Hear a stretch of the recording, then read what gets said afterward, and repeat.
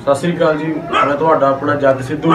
ਅੱਜ ਫੇਰ ਅਸੀਂ ਹਰਬੰਸ ਸਿੰਘ ਦੇ ਘਰ ਆਏ ਆ ਜੀ। ਇਹਨਾਂ ਦੇ ਮੁੰਡੇ ਦੀ ਹਾਲਤ ਕਾਫੀ ਖਰਾਬ ਹੋ ਗਈ ਸੀ ਆਪਰੇਸ਼ਨ ਤੋਂ ਬਾਅਦ ਵੀ।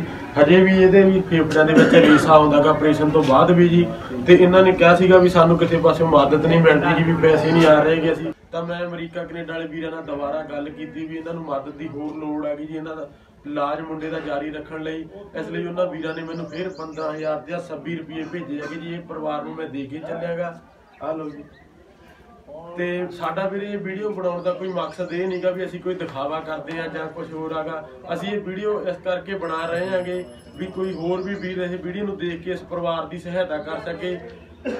ਧੰਨਵਾਦ ਵੀਰੇ ਅਮਰੀਕਾ, ਕੈਨੇਡਾ ਵਾਲੇ ਸਾਰੇ ਵੀਰਾਂ ਦਾ ਫਿਰ ਦੁਬਾਰਾ ਦੁਬਾਰਾ ਧੰਨਵਾਦ ਕਰਦੇ ਹਾਂ ਜਿਹੜੇ ਇਹਨਾਂ ਗਰੀਬਾਂ ਦੀ ਸਹਾਇਤਾ ਕਰਦੇ ਹੈਗੇ ਇਸ ਤਰ੍ਹਾਂ।